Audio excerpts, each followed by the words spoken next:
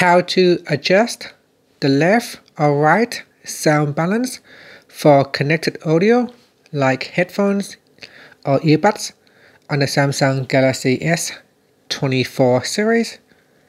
First, tap on the home button to go back to the home screen.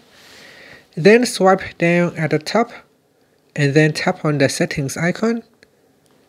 Next, we scroll down and then tap on accessibility, then tap on hearing enhancements. Now scroll down. In the left or right sound balance section, drag on the connected audio. So drag on the slider bar to the left or to the right. Once you feel the audio is balanced, you can then tap on the back key. And that's it. Finally, tap on the home button to go back to the home screen.